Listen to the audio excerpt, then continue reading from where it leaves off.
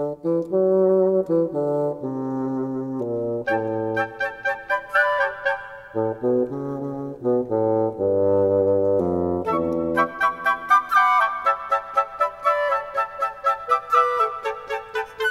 nombre es Ani Brenes, soy una maestra pensionada y escritora de literatura para niños.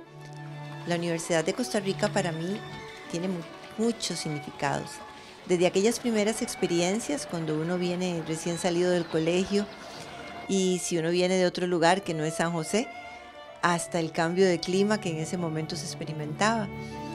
Estudié educación en la Universidad de Costa Rica, unas bases muy fuertes para la labor que luego realicé especialmente porque siempre respetaron aquí mi manera de ser.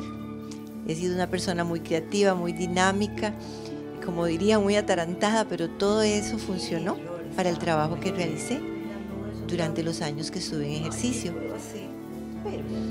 Mis hijos más adelante también fueron estudiantes de la Universidad de Costa Rica. En este momento mi nieto también es estudiante de la Universidad de Costa Rica.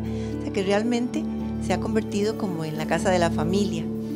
Y como si eso fuera poco, con estos programas que la Universidad de Costa Rica tiene para nosotros las personas adultos mayores, con más razón porque otra vez regresé a la casa y me siento feliz de ser parte del coro del adulto mayor de la Universidad de Costa Rica, de recorrer muchos lugares de presentaciones, de actividades donde nos sentimos orgullosos, orgullosas de pertenecer a ese grupo y a esa institución que lo respalda.